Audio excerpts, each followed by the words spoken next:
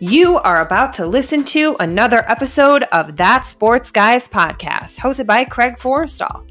Find Craig on Twitter at that underscore sports underscore guy. The That Sports Guys podcast is proudly featured by NFL Draft Diamonds, your draft coverage king. So sit back, relax, and enjoy some football talk.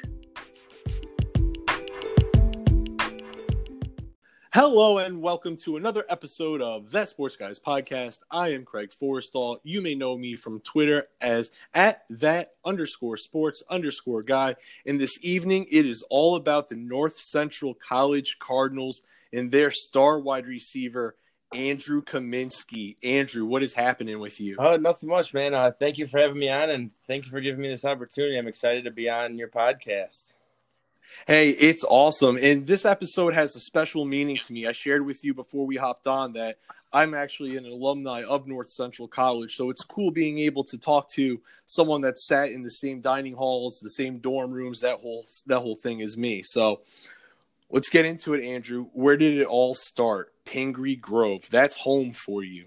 What was it like growing up in Pingree Grove? So I actually didn't grow up in Pingree Grove. My parents just recently moved out here when I graduated high school, but I'm from a surrounding town pretty close, like 15 minutes away from Bartlett, Illinois. So growing up in Illinois has just been just been uh, everything I know. Uh, from a little kid, I've always wanted to play football from first grade on.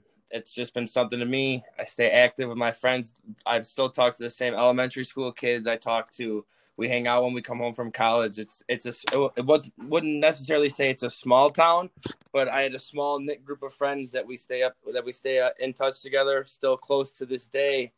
And uh, South Elgin and Bartlett, that whole area has just been just been home for me, and I wouldn't uh, wouldn't imagine growing up anywhere else. It's all I ever know. And you talked about South South Elgin, South Elgin High School, and you formed one of the more dynamic duos at wide receiver with you and Derek Kumerow.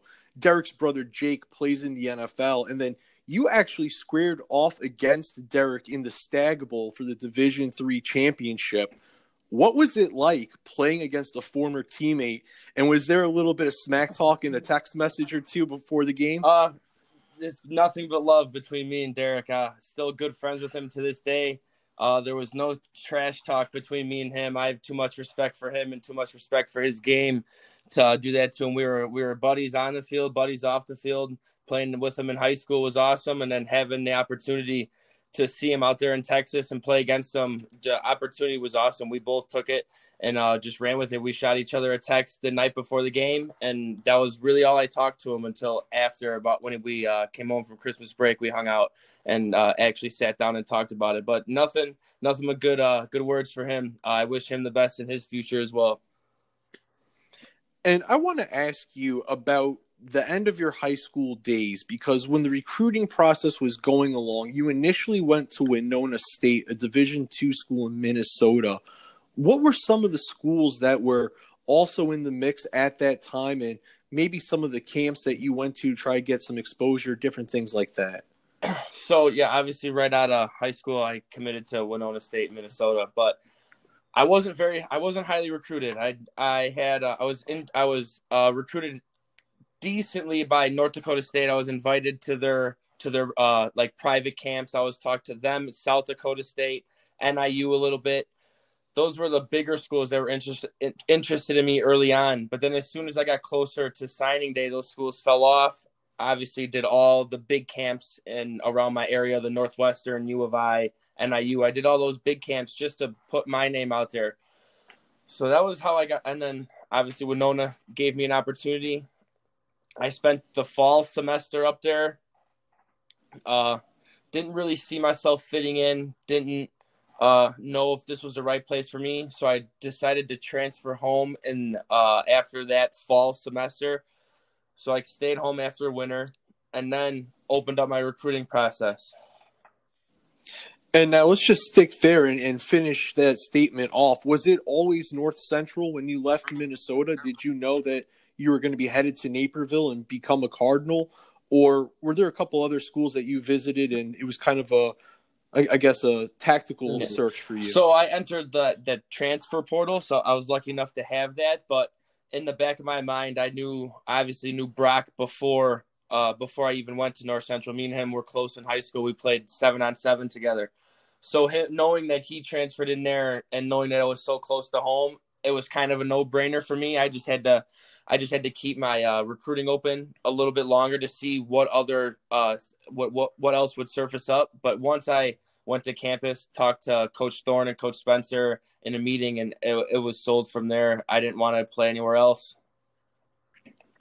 And now let's stick there with Coach Jeff Thorne and Coach Brad Spencer, uh, the head coach and offensive coordinator, which they have orchestrated a high flying, high scoring offense in which you had over 2,000 yards receiving, not for your career, but just in the 2019 season. You went for over 2,000 yards receiving talk to us a little bit about the offense and what it's like to play in such a. Hmm. high flying system. Those guys, those guys are masterminds. I wouldn't be the football player I am today without those two. They've helped me shape my game and put me in the right spots in order to, to succeed and have the opportunity to succeed. Them, them having the confidence in all of us is is just something that's uh, you can't you can't teach it. You can't. It's just a relationship we have with them. But getting back to the offense, it's it's high powered. We're we're not one dimensional. If we play against a team that we know is going to be good against the run, it's going to be stout against the run.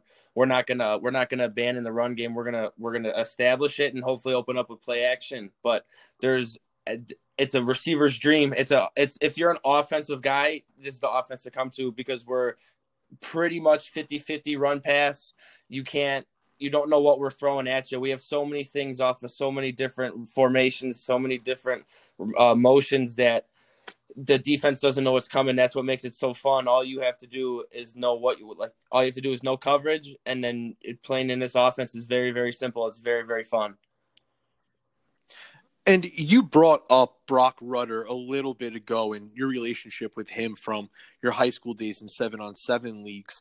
How much did that help you on the field when you guys teamed up together for North Central? Just how was that connection developed? How much work did you two put oh, in? The connection was everything. Without us uh, working out four to six days a week in the summer together, getting the extra routes in, working out in the weight room together, and just uh, having that trust and having that uh, reliability in one another, knowing that okay, if something's going bad, someone messes up, or there's something something that didn't go our way, that mean that we we're, we are on the same page. We have the same instinct. We have the same football mind. We know how the game works. We know we knew where each other was going to be in a time of need or when everything was just going our way. We we knew each other's next move and that's from obviously we lived together so we knew we studied film together we would watch film together so we knew everything uh, each other was thinking when the time would come. We we prepared like we we prepared better than I've ever prepared before. He's a mastermind, just like our coaches,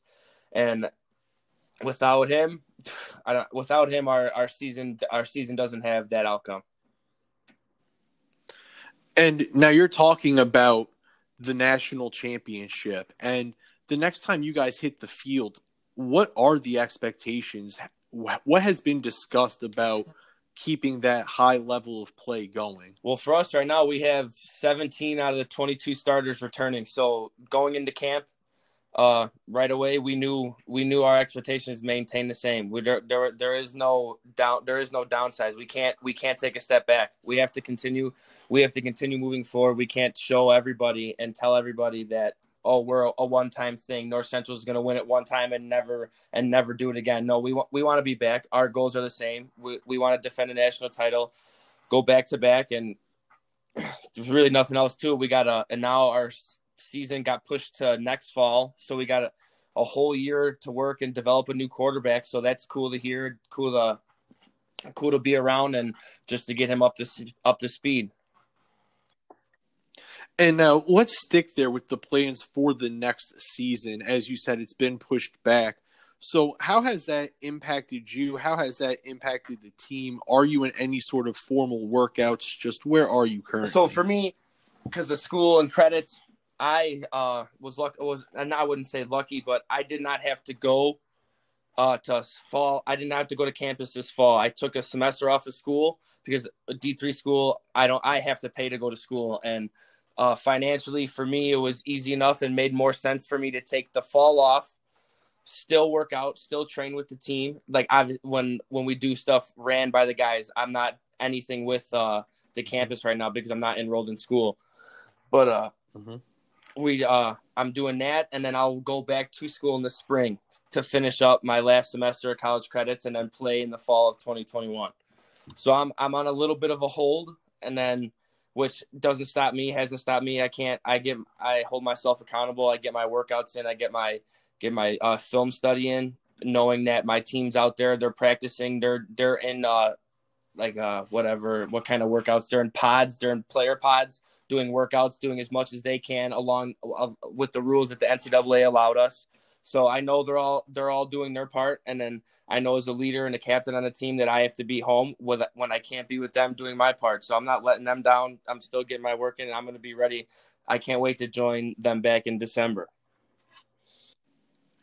And I want to ask you about Division 3 football just as a whole. Like you said, you don't want this to be a one-time thing. And there's a lot of competition in Division 3 world when it comes to the Mount Unions and the UW Whitewaters.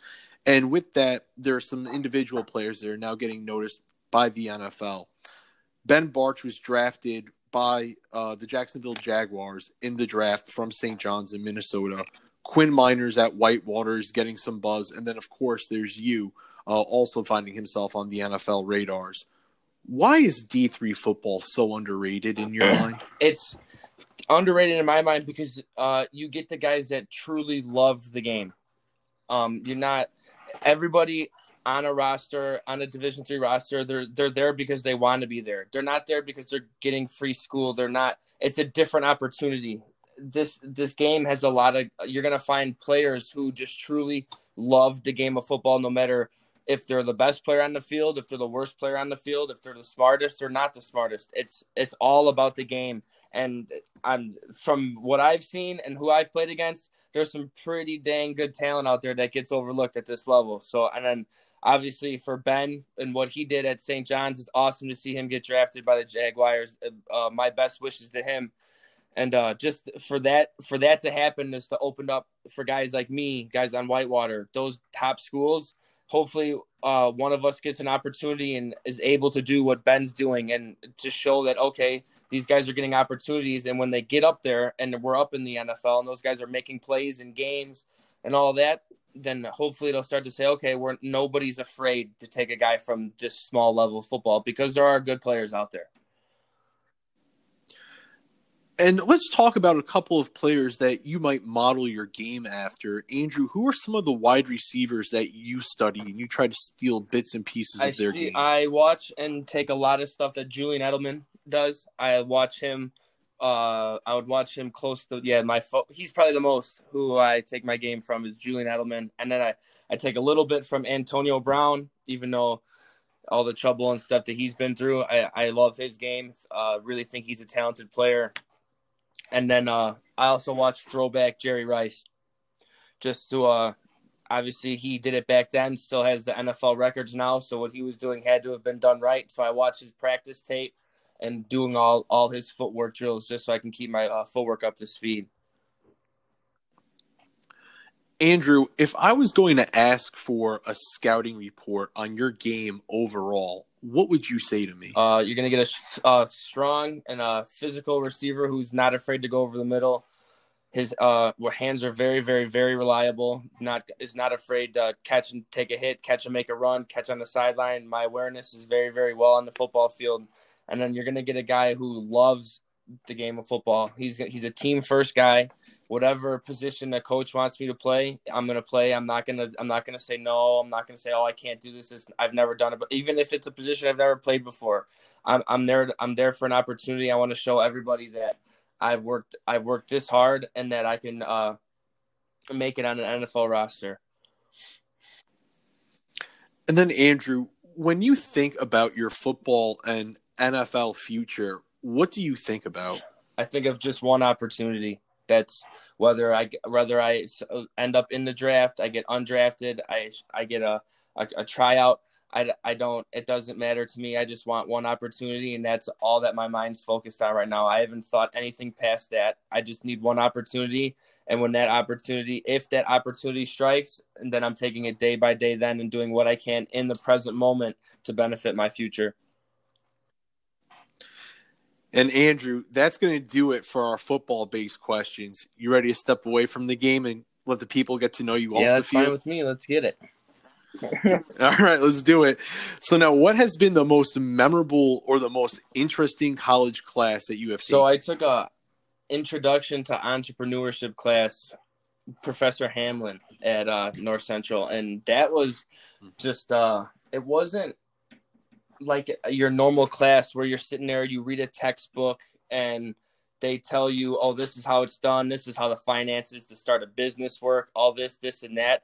This was like bef- the beginning stages. So it showed you where do you start, how do you find the like, how do you find fundraising, how do you find a sponsorship if you're going to start a if you're going to start a non for profit. So it was just a whole just a background on how just to get started with a career, to get started with an opportunity that if someone had that they wanted to create their own business. And I, that, as of now, that was probably my most interested college class you wake up tomorrow morning and there's a message on your phone that says you're running out of storage and you can only keep three apps. You have to delete every other app on your phone. Andrew, what three apps are you going to I'm going to keep ESPN, have to know what's going on in the sports world. I'm going to keep Hudl so that I can obviously study study film instead of watching TV before bed. And then I'm gonna probably I'm probably gonna keep Instagram so I can keep up with my friends, family, and all of that stuff, and then pretty much everything else could be deleted.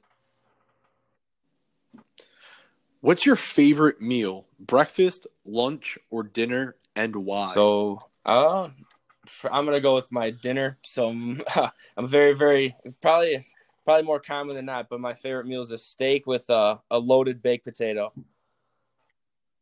All right, no, can't go wrong with that. There's just something about a nice uh, medium rare steak that's that's just cooked just to perfection. Maybe a little bit of garlic butter, not too much, and then just right on the side, just to just to give me a baked potato. I'm very very simple. I'm not a huge pasta guy. I'm not a huge all that type of different st- style food. Just give me any sort of meat, like steak, pork, chicken, and I'm happy. Now let's see how adventurous you are you get an opportunity to go skydiving. Are you in or are uh, you out? I'm in for sure. That's something that I've actually been uh been wanting to do here the last couple years because all my all my buddies have done it, my cousins have done it, and they say they've all told me to do it before uh bef- bef- like before you get too old because then your uh your fears start to kick in he's like do it when you're young do it when you're reckless so i would love to do it here uh, here soon and then, Andrew, the final question that we got lined up for you What's your hidden or secret oh, talent? That's a tough one. That's the one I'm still thinking on. But uh I would say uh I don't know, a hidden talent I guess. I I'll I'll ride a bike for hours without even touching the handlebars. Like you can take the handlebars off a bike. Yeah, you don't need. Wow, yeah, so you, you got good balance on a bike. You just got to get yourself up a little. You got to get cooking a little bit so you can maintain speed. But but other, otherwise, yeah, you don't need handlebars.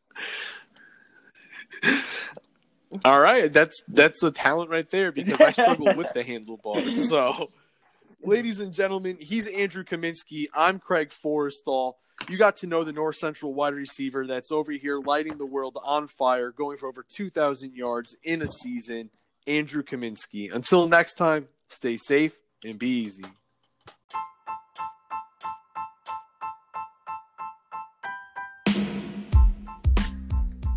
Hey everybody, Craig Forrestal. Thanks for tuning in and listening to another episode of That Sports Guys podcast.